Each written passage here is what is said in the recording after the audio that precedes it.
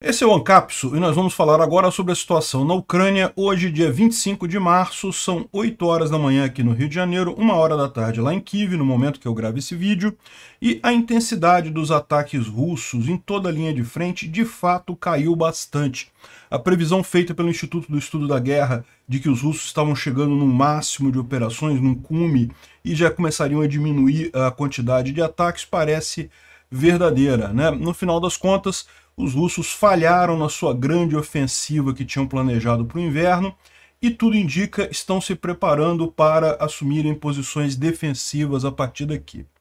E uh, em Barmut, uh, especificamente, parece que está confirmada a intenção do exército ucraniano de fazer uma contraofensiva ali naquela região. Tá? Não, não estamos falando da grande contraofensiva ucraniana que deve acontecer em algum momento ao longo do tempo, mas sim de uma contraofensiva ali na região de Barmut, com o objetivo de efetivamente separar as tropas do grupo Wagner do restante das tropas russas e com isso é, resetar boa parte do avanço russo ali naquela região. Né? O Prigozhin, inclusive, continua reclamando muito da, da falta de apoio do exército russo. Ele tem falado dessa contraofensiva ucraniana há algum tempo já e ninguém leva a sério, não consegue re é, receber mais reforços nem munição, ele está ameaçando agora simplesmente abandonar totalmente a luta ali na Ucrânia. Né? E uh, surgiram mais reclamações de soldados russos por serem usados como bucha de canhão em vários locais da frente, e ao mesmo tempo surgiu a informação sobre o Batalhão dos Ricos lá da Rússia. Né?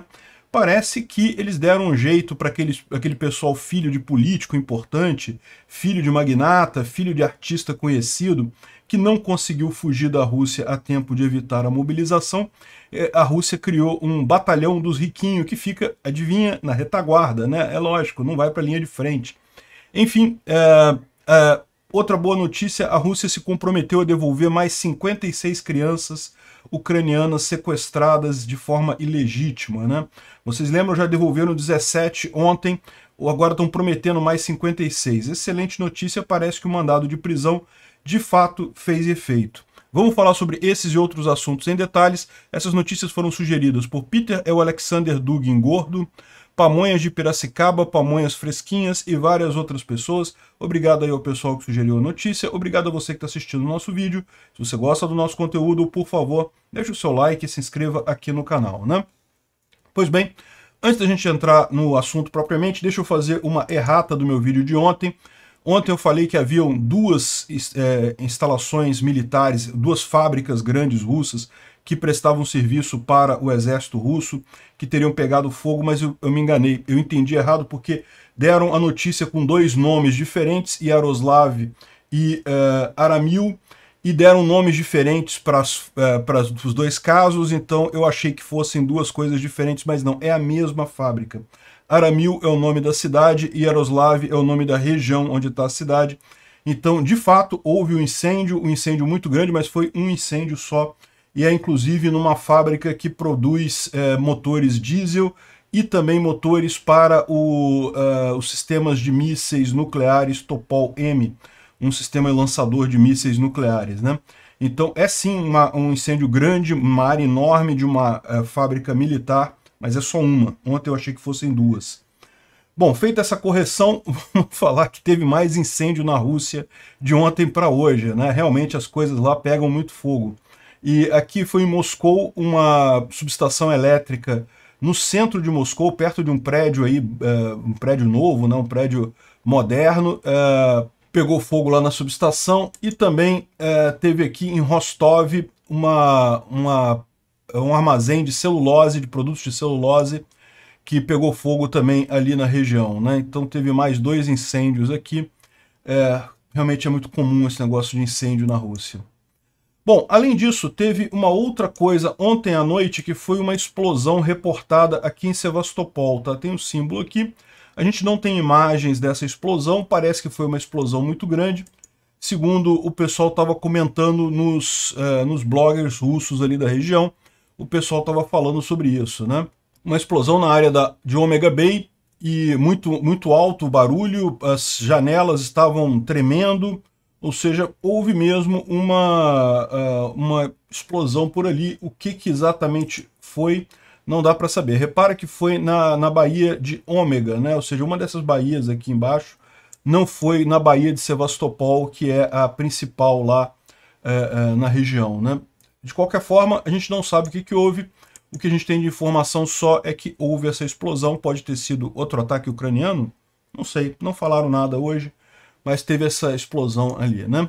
E hoje cedo, isso, isso aconteceu ontem à noite, hoje cedo um avião é, é, da inteligência britânica tava faz, fez um voo de monitoração bem próximo aqui da Crimeia, bem próximo de Sevastopol, escoltado por dois jatos é, britânicos, né?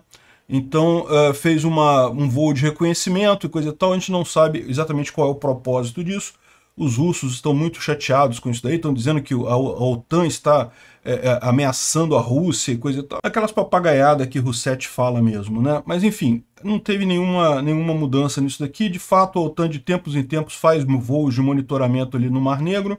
O Mar Negro é, é espaço aéreo internacional, então não tem nada de errado com isso, né? E, bom, a coisa mais tocante que aconteceu ontem é justamente o decréscimo do número de tentativas de avanço russas, né? É, a gente vem aqui, isso aqui é o, o reporte do Igor Girkin desde o dia 1 de março. E você repara que estava na faixa de 170, é, aqui dia 2 foi menos, um pouco, 85, 150, 130, 140, 100, 100. E aí você repara que começa a cair, cair, é, 114, 83, 79...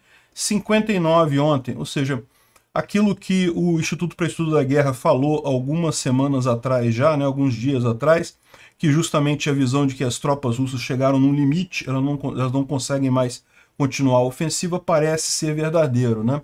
E tem uma série de outras informações que corroboram isso daí. Né? A Bloomberg fez uma, uma, um reporte falando sobre isso também, dizendo que justamente a, a visão que eles têm é que a Federação Russa abandonou a grande ofensiva que eles tinham planejado, ou melhor, eles tentaram fazer a grande ofensiva, né? A gente viu isso durante o inverno. E eu cheguei a falar para vocês, não, o que a gente está vendo é a grande ofensiva já. É que eles não conseguiram avançar muita coisa. Eles tentaram aqui no sul, vocês lembram? Não conseguiram avançar nada. Tentaram em Vuledar, não conseguiram avançar nada. Tentaram avançar aqui próximo a Kupiansk. Chegaram a tomar alguns vilarejos aqui. Eles avançaram um pouquinho aqui em Kupiansk mas nada significativo, andaram poucos, poucos metros aqui. É, também mais aqui perto de Kreminá, a gente viu essa área toda ser, uh, os, os russos avançarem aqui nessa direção, tudo bem que depois os ucranianos empurraram eles de volta, mas os russos chegaram a avançar aqui em Kreminá, chegaram a, a, a chegar próximo a Zarishne e a outras cidades aqui, Troisk, né? Enfim, uh, essa foi a grande ofensiva russa. Eles tentaram fazer, é que eles não conseguiram, né? Então parece que agora a, a, a ideia é que justamente eles vão focar em uh, segurar a contraofensiva da Ucrânia e estão planejando chamar mais 400 mil uh, uh, mobilizados lá na Rússia. Né? Imagina-se que eles estão preparando isso justamente já visando uma outra possível ofensiva futura ou então meramente é, é, suprir o que foi perdido nessas, nessa tentativa de avanço. Né? Então, uh, parece que a Rússia realmente não conseguiu avançar e já está desistindo disso. Bom, isso aqui é uma visão de um, uh, de um carro da guarda, uh, guarda de fronteira ucraniana, que são as tropas que estão defendendo Barmut nesse instante, né?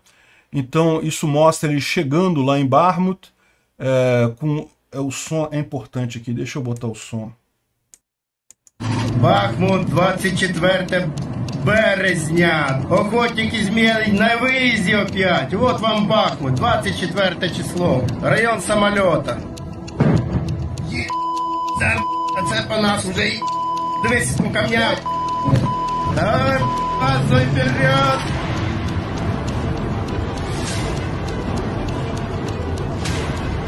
Ми проскочили кінець зв'язку. Caras tendo que acelerar ali porque estavam sendo bombardeados, né? E é, realmente emocionante a coisa. O pessoal parece que está com a moral elevada lá, muito bom. Enfim, para dar uma situação aí da, da, coisa, é bom quando tem esses vídeos que não tem corpos aparecendo, né? Que dá para a gente mostrar sem problemas aqui, né? A maior parte dos vídeos acaba que não dá para mostrar. Bom, o Barmut Demon, que é um combatente ucraniano que está lá em Barmut, ele está dizendo que As tropas russas estão já se exaurindo gradualmente. Tudo que é, era nosso continua nosso e a, os assaltos russos nas bordas da cidade falharam. A luta por Kromovo e, é, terminou em nosso favor e também por Ivanovsk, da mesma forma, nós continuamos. Tudo sob controle aqui.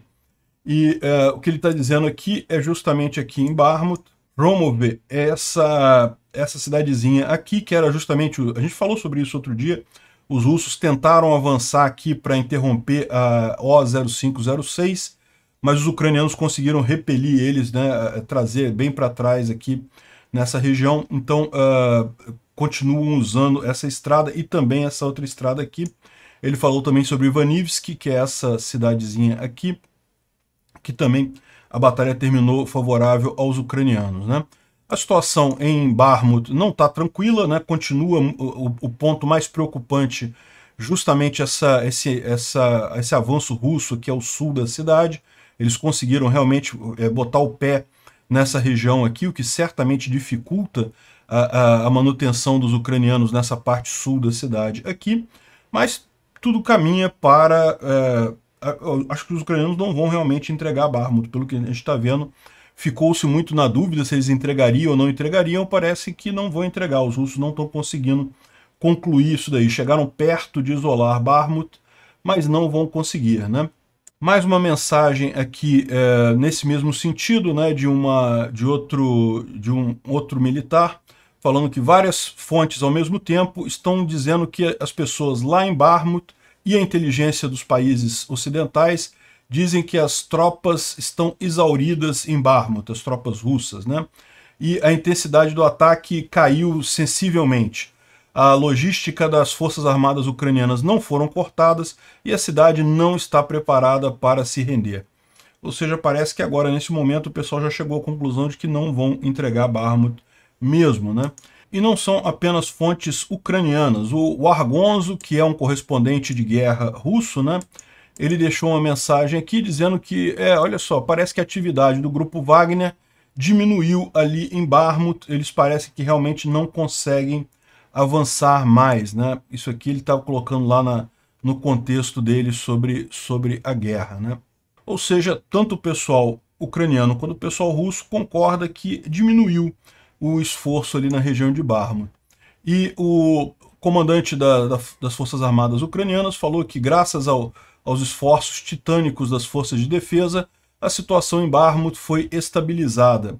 E Barmut é da Ucrânia, a vitória está vindo. Agora, o mais engraçado é o Noel, que ele faz reporte de guerra também na região de Barmut, é ele está por lá, e ele diz que eu não posso ser tão claro sobre a fronte.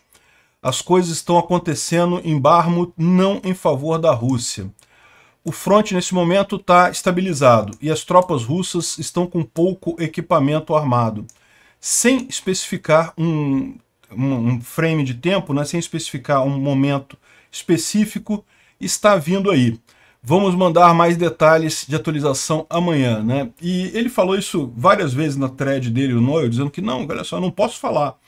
Me pediram silêncio sobre isso, mas está para acontecer alguma coisa é, é, lá em Barmut e não é, é em favor dos russos. Né? O que, que ele está implicando nisso daqui é justamente que seria uma contra, um contra-ataque ucraniano ali. Né?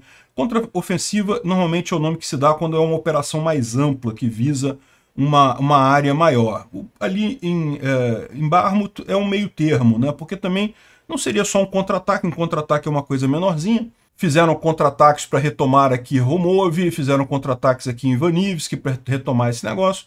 Agora, o que se diz é que há um planejamento ucraniano de fazer um grande círculo aqui e isolar essas tropas é, russas nessa região. As tropas estão esticadas, a linha de frente está enorme, então as tropas russas aqui do grupo Wagner elas estão com pouca capacidade de manter a linha de frente e neste momento, se os ucranianos atacarem, a chance de sucesso é grande. Vão fazer isso? Não vão fazer isso? Até onde vai esse, esse, cerco as tropas do Wagner, vão, vão partir aqui de é, é, né, essa cidadezinha aqui, Vesely, coisa e tal. Yakovlivka foi a grande, o grande é, é, início dessa ofensiva do grupo Wagner aqui na região. Né? essa área toda aqui estava nas mãos dos ucranianos e uh, uh, até que os russos tomaram Yakovlivka e depois que eles tomaram Yakovlivka, eles conseguiram atingir o, o flanco ucraniano aqui em Soledar, tomaram Soledar e aí a partir daí foi só um dominó atrás do outro é, chegando aqui. E a mesma coisa aqui no sul, os ucranianos, os russos fizeram a partir de Osarianivka, né? Então, da mesma forma, toda essa parte aqui que foi tomada pelos russos começou... Ah, eles tomaram Osarianivka, com Osarianivka eles atingiram os, o flanco ucraniano em Kurdiumivka, tomaram Kurdiumivka, e assim foram até pegar toda essa área aqui, né? Pode ser que os ucranianos façam a exata mesma coisa, né? Entrem por aqui, tomem Yakovlivka e refaçam o, os passos dos, uh, dos russos nessa região. Ou talvez seja uma coisa mais é, consolidada aqui dentro, só nessa região aqui, talvez. Enfim, não sabemos o que é, mas o pessoal está justamente implicando que existe uma ação que eles não podem falar ainda, porque deve estar tá acontecendo, e é, que seria uma coisa positiva para os ucranianos ali na região. Né? Vamos aguardar. É, o Zelensky deixou claro que ainda a, Ucrânia não tem capacidade de lançar uma ofensiva, Segundo ele, está esperando a entrega dos tanques, artilharia e, e, os foguetes americanos MLRS, né? Então, ou seja, ainda está no aguardo. Ele está falando isso para tentar acalmar o pessoal, porque, como a gente viu ontem, inclusive, no vídeo, o Prigogine está falando que não, que a contraofensiva ucraniana vai ser logo no início de abril e coisa e tal. E eu também acho que não vai ser no início de abril, deve ser mais para frente, é, da, da segunda metade de abril, eu acho o mais provável, meados de abril mas já tem gente falando em maio, junho, enfim, vamos ver, né? Certamente vale a pena esperar os tanques para essa grande ofensiva ucraniana. Agora, isso não é impedimento para uma ofensiva localizada ali em Barmut, né? Ali a coisa é diferente, talvez eles já tenham equipamento suficiente para isso. E o Prigogine, ontem a gente falou sobre o Prigogine, que está dizendo que, que, que, iria diminuir a presença lá na Ucrânia e aumentar a presença na África, né? Mas, na verdade, parece que eh, a ameaça que ele fez para os russos é muito maior do que essa. A ameaça que ele fez é justamente de abandonar totalmente a Ucrânia e, e mandar todo mundo para a África, é, é, justamente porque não está tendo apoio do, é, do comando do exército russo. Né? E é, aquele negócio, parece que realmente o que aconteceu ali foi uma briga de egos, né?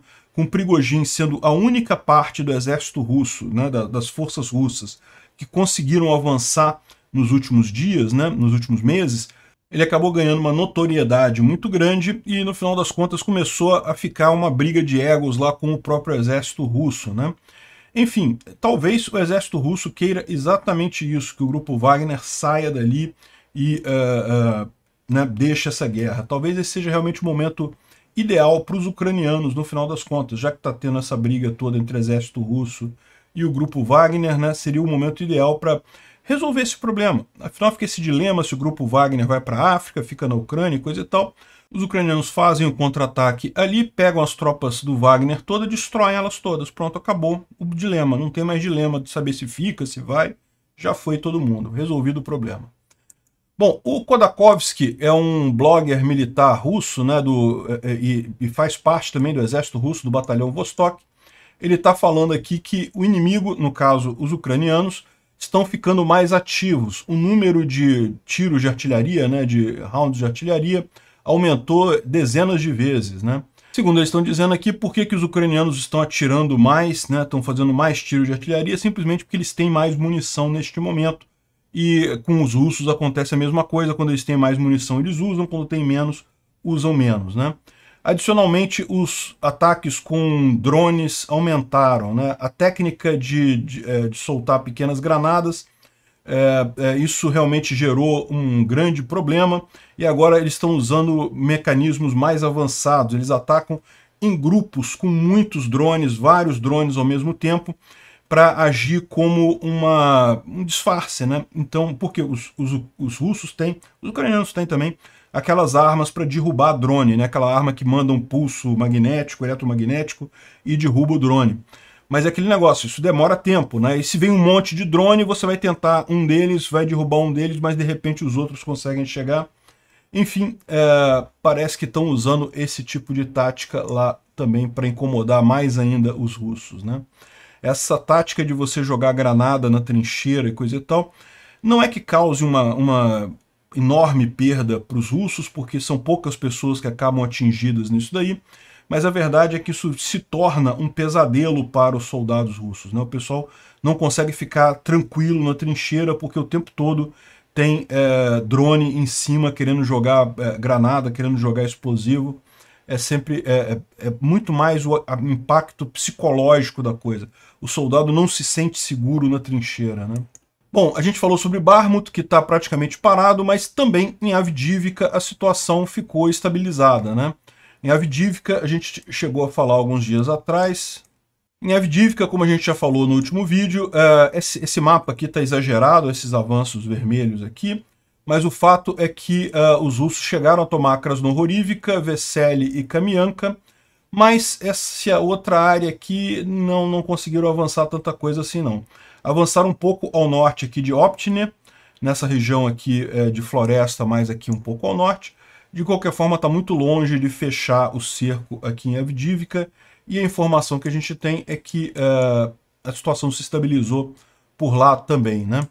Vamos dar uma olhada aqui no resto da linha de frente, na thread aqui do DFMON, e uh, ele fala aqui sobre tentativas russas de avanço é, em Grianikivka e também aqui ao lado em uh, Bilorhorivka, uh, Kreminá, aqui na floresta, enfim, aqueles lugares que os russos tentam avançar de tempos em tempos e não conseguem, né? Esse vídeo aqui é um vídeo muito bacana de ver, tá? Infelizmente, o iníciozinho dele dá pra gente ver. É, eles mostram aqui um ataque russo a trincheiras ucranianas, então tem aqui um monte de soldado russo. Aqui são as trincheiras ucranianas, eles estão chegando por aqui para tentar tomar a trincheira ucraniana. E uh, a partir daqui eu não posso mostrar mais, tem uma, uma luta muito feroz e, e morrem todos os russos. Os ucranianos, tanto na trincheira quanto com artilharia, destroem todo mundo ali, né? E isso aconteceu em Verokamiansk, que é essa região aqui mais ao norte de Barmut, né? Verokamiansk é uma região que os russos têm tentado avançar também há muito tempo, mas não conseguem avançar por aqui, né? nessa região aqui de Bilororivka. Ele fala sobre as tentativas de avanço russas aqui, que não conseguiram, e inclusive ele fala hoje sobre aquilo que a gente já falou há dois dias atrás, que os russos tentaram avançar para Romov e eh, os ucranianos expulsaram eles de lá com, com muita força, né? Destruíram o pessoal ali. Avdivka também, nenhuma, nova, nenhuma novidade, os russos tentaram avançar em um monte de lugares, mas não conseguiram avançar. Por fim, ele mostra aqui uh, o quanto que os russos dizem ter destruído de armas americanas. Então, segundo os russos, eles já destruíram 50 HIMARS, o que é curioso, porque a Ucrânia só tem 20. Então, os russos teriam destruído 250% dos HIMARS presentes na Ucrânia. E M777 também teriam destruído 164 dos 153 obuses 777 que a Ucrânia tem. Ou seja, estão mentindo, né? É lógico, né? Ah, e também teve lá em, em é, Marinka tentativa de avanço russa, mas também sem sucesso. Por falar em números inventados pelos russos, o, o Igor Strelkov está falando aqui que a Ucrânia já recebeu mais de 100 Leopard, tanques Leopard, que não foram oficialmente anunciados. Curioso, né? Como é que ele sabe disso então, né? Lorota desse pessoal, invenção deles. O Instituto para Estudo da Guerra fala sobre a ofensiva ucraniana. Ele diz que uh, o espaço de informação russo está começando a preparar as pessoas para essa ofensiva. Ou seja, o próprio Medvedev falou que sabe que os ucranianos farão uma ofensiva e coisa e tal. Enfim. Alguns bloggers militares russos têm criticado o, os militares russos por justamente continuar a destruir forças russas ali em Vuledar em ondas de assalto, né, ondas humanas assalto do tipo ondas humanas, né? E estão é, criticando muito isso daí. A gente vai ver também que isso foi um dos pontos que chamou atenção, né? Tem mais vídeos de soldados russos reclamando exatamente disso. Aqui estão soldados da unidade Storm, que tem é, tanto presos que foram enviados para a linha de frente e pessoas mobilizadas, e eles estão aqui é, reclamando que estão sendo enviados para a morte certa durante assalto em Vodiane, que fica ali na região de Avdivka, né? Então a unidade consistia de 161 pessoas inicialmente e apenas uh, algumas dezenas estão vivas aqui. Eles reclamam ainda que os soldados estão sendo extorquidos, né? Então, se o soldado não pagar para o comandante, ele é enviado para a linha de frente imediatamente e se se ferir lá, ele não tem atendimento médico e coisa e tal. Pois é, os caras estão reclamando muito. Não é só eles, não. Também um grupo de soldados russos aqui está reclamando porque diz que os oficiais que comandavam eles da chamada DPR, né, da, entre aspas, República Separatista de Donetsk, eles simplesmente abandonaram as posições e deixaram apenas os mobilizados lá, sem comando, sem saber o que fazer e coisa e tal. É, mais reclamação dos russos ali. Enquanto os soldados é, de nível mais baixo né, reclamam, é, tem um batalhão que não tem problema, né? Você sabe, um dilema que acontece lá na Rússia é que o pessoal que é filho de gente de mais alta classe, lá, filho de político, filho de pessoas ricas e coisa e tal, eles não querem ir nessa guerra, né? não são malucos, né? eles não comem cocô. A maior parte deles vazou para o exterior, fugiu na cara dura, né? Agora, nem todos conseguiram fugir, então uma parte desses filhos de pessoas da elite russa lá acabou sendo mobilizado, mas não é problema, porque justamente como eles são os filhos da elite, o pessoal criou uma, uma unidade especial da elite, nesse caso não elite em termos de capacidade de batalha, elite em termos de ser todo mundo filhinho de rico, e que, lógico, eles servem a uma distância segura do fronte, né? Fica todo mundo na retaguarda, eles vão lá na Ucrânia e coisa e tal, mas ficam na retaguarda, principalmente fazendo trabalho com drones e coisa e tal, então acaba que não, uh, não tem risco efetivo lá no final das contas.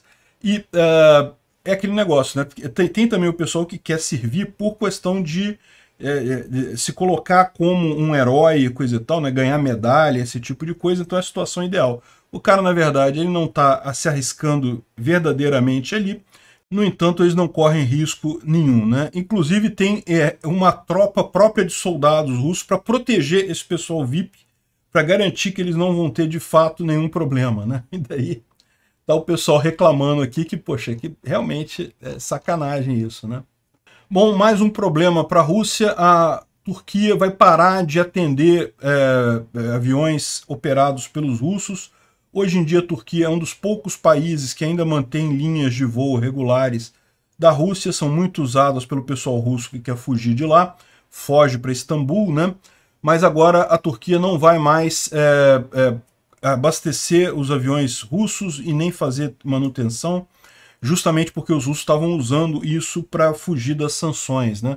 Mandavam um avião já quase é, quebrando para a Turquia e lá arrumava uma emergência, uma uh, manutenção de emergência e acabava conseguindo contornar as sanções uh, uh, impostas à Rússia. Né? Isso aqui é um vídeo interessante, é, mostra a ponte da Crimeia. Olha só.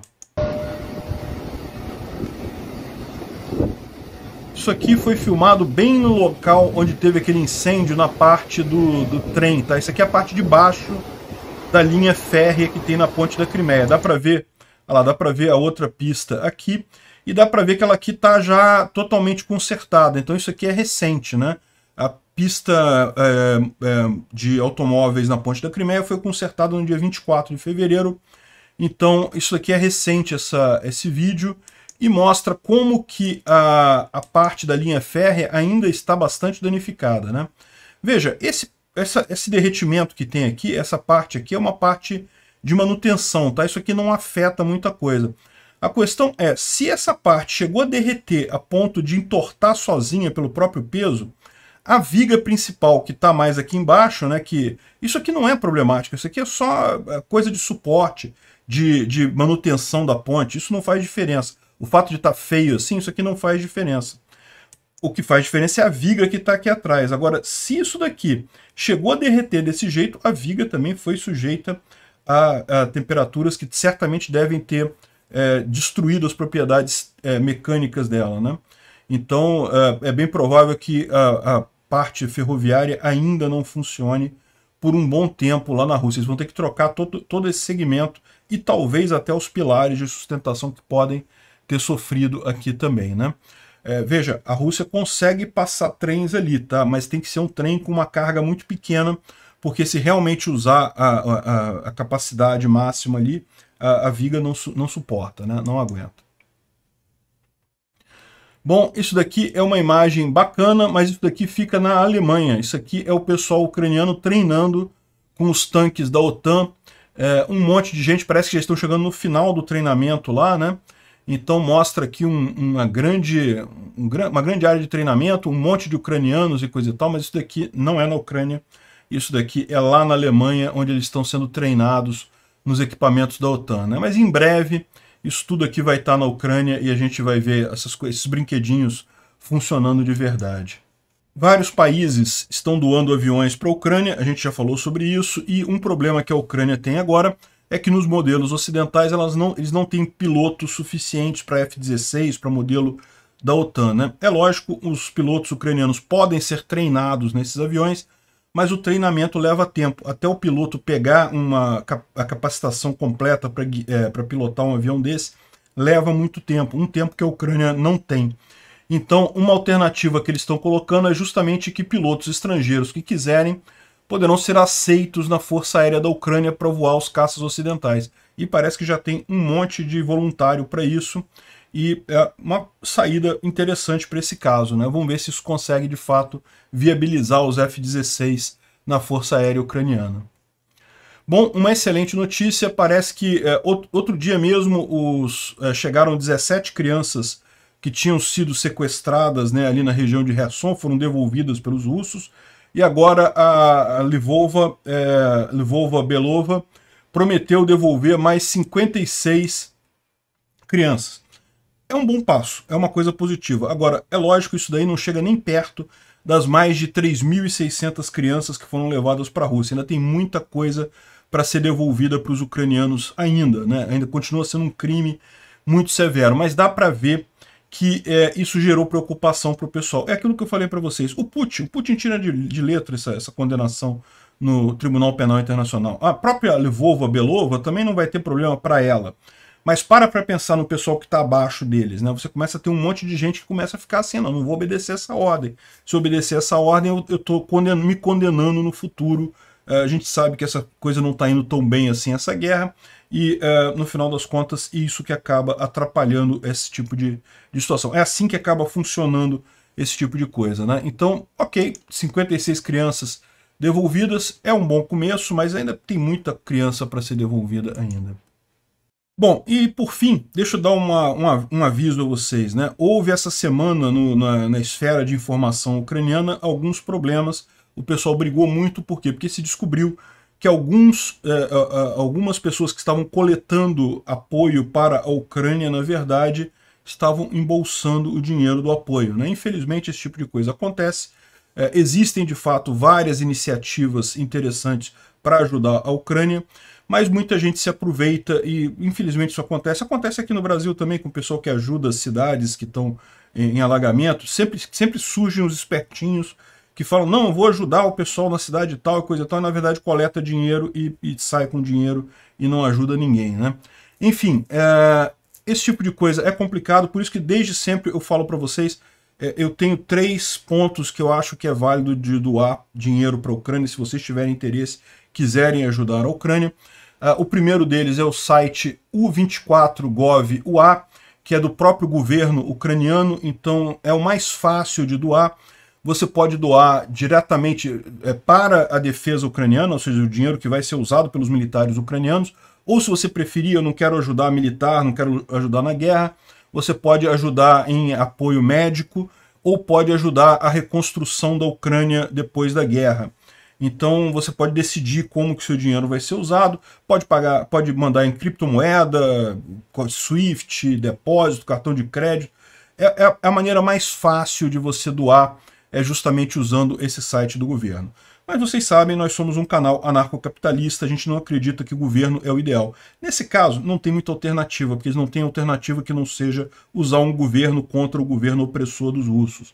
Mas para quem preferir fazer uma doação direta para indivíduos, um cara que eu sei que é uma pessoa honesta, que, tá, que tem acompanhado essa guerra desde sempre, é justamente o rapaz aqui, o Dinko Zluktenko, né? que é, é, esse rapaz aqui é um rapaz lá de Lviv, Ele mora lá na Ucrânia e ele tem coletado uh, ajuda, apoio, daí ele compra drones, compra um monte de coisa e manda para a linha de frente.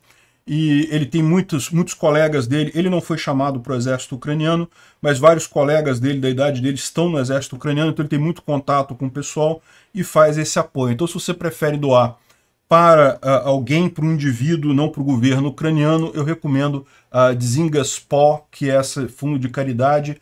Esse, é, Dzinga é o cachorro dele, que né, é, é, ele fez o site em, em homenagem, coisa e tal. Ele fala quantos drones que eles estão fazendo. Isso aqui é o balanço de fevereiro, né? 5 Starlinks, 10 tablets, 5 drones. Então tudo isso daqui ele comprou e enviou para os uh, soldados lá na linha de frente. Então se você quiser ajudar, é outro lugar que eu recomendo também. E por último, se você quiser comprar camisas é, da Ucrânia com San Javelin, né, que é, é, é, e outros, outros tipos também, essa, essa loja sanjavelin.com é uma loja canadense, o pessoal é, é, são canadenses de origem ucraniana e eles também de, é, entregam a maior parte do lucro para a Ucrânia. Então, se você quiser comprar uma camisa, comprar um bottom, alguma coisa, é, também você vai estar ajudando a Ucrânia através disso daqui, né?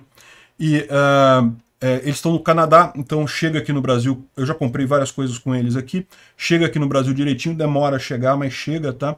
As camisas são caras, mas a ideia é justamente muito mais ajudar a Ucrânia do que ter a camisa em si. Então é, fica a dica e tomem cuidado para não doar dinheiro para qualquer um que peça na internet, porque vocês sabem, né? Internet é internet, né?